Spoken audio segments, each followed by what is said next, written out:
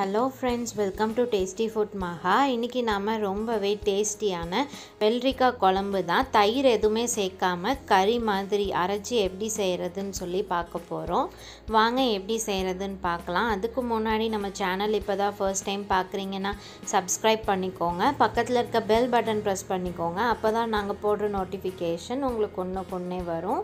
வாங்க இப்போது வீடியோக்குள்ளே போகலாம் ஃபஸ்ட்டு நாம் ஒரு பேஸ்ட் ரெடி பண்ணியிருக்கலாம் அதுக்கு நான் தேங்காவை இந்த மாதிரி சின்ன சின்னதாக கட் பண்ணி எடுத்திருக்கேன். அரை தேங்காய் எடுத்திருக்கேன். அது கூட ஒரு டீஸ்பூன் சோம்பு ஒன்றரை டீஸ்பூன் சீரகம் ஆட் பண்ணிக்கோங்க. ஒரு டீஸ்பூன் கசகசா ரெண்டு கிராம்பு ஒரு ஏலக்காய் சின்ன துண்டளவு பட்டை ஆட் பண்ணி ஒரு பச்சை மிளகா ஆட் பண்ணிவிட்டு ஃபைன் பேஸ்ட்டாக அரைச்சிக்கலாம். இந்த மாதிரி வெள்ளரிக்காய் கட் பண்ணி எடுத்துக்கோங்க. ஒரு பேன் வச்சு எண்ணெய் ஆட் பண்ணிக்கலாம். நான் இன்றைக்கி நல்லெண்ணெய் சேர்த்துருக்கேன். இந்த மாதிரி குழம்பெல்லாம் நல்லெண்ணெய் செய்யும்போது டேஸ்ட் ரொம்பவே சூப்பராக இருக்கும்.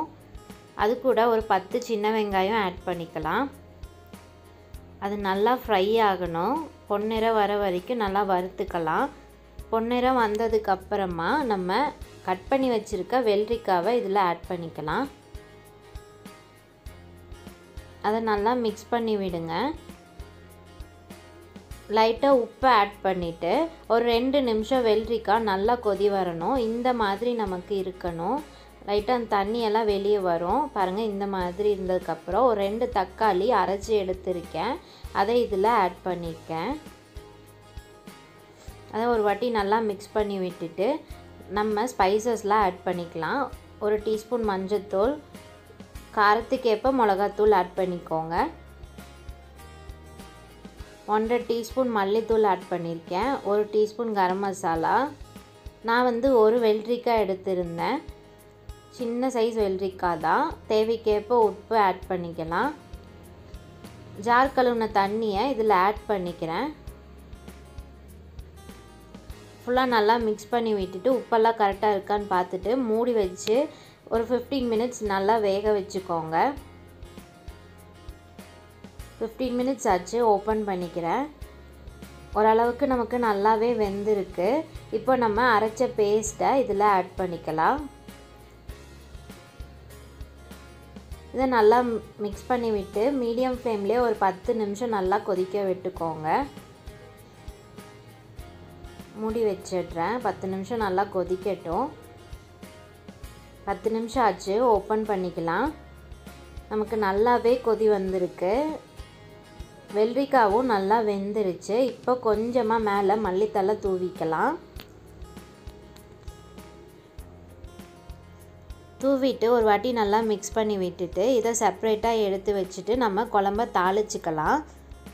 அதுக்கு ஒரு பேன் வச்சுருக்கேன். ரெண்டு டேபிள் ஸ்பூன் எண்ணெய் விட்டுக்கிறேன்.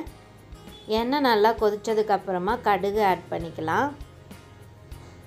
கடுகு நல்லா பொரிஞ்சதுக்கப்புறமா ஒரு டீஸ்பூன் உளுந்தம்பருப்பு ஆட் பண்ணிக்கிறேன். உளுந்தும் நல்லா பொரியட்டும். பொரிஞ்சதுக்கப்புறமா அரை டீஸ்பூன் சீரகம் ஆட் பண்ணிக்கலாம். இதெல்லாம் நல்லா பொறி வர பொரிஞ்சு வரணும். மீடியம் ஃப்ளேமில் வச்சு பண்ணுங்கள்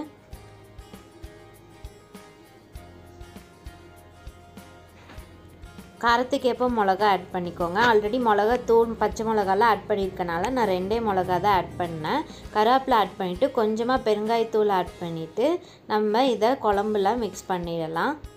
அவ்வளோதான். டேஸ்டியான வெள்ளரிக்காய் குழம்பு ரெடி ஆகிடுச்சு டேஸ்ட் ரொம்பவே சூப்பராக இருக்கும். இது வந்து சாப்பாடு இட்லிக்கெல்லாம் டேஸ்ட் நல்லாயிருக்கும் கண்டிப்பாக ட்ரை பண்ணி பாருங்கள் எங்களோட ரெசிபி பிடிச்சிருந்ததுன்னா எங்கள் சேனலுக்கு லைக் பண்ணுங்கள் ஷேர் பண்ணுங்கள் சப்ஸ்கிரைப் பண்ணுங்கள் மறக்காமல் பக்கத்தில் இருக்க பெல் பட்டன் ப்ரெஸ் பண்ணிக்கோங்க. அப்போ தான் நாங்கள் போடுற நோட்டிஃபிகேஷன் உங்களுக்கு ஒன்று கொன்னே வரும். தேங்க்யூ ஃபார் வாட்சிங் கீப் சப்போர்ட்டிங் ஃப்ரெண்ட்ஸ்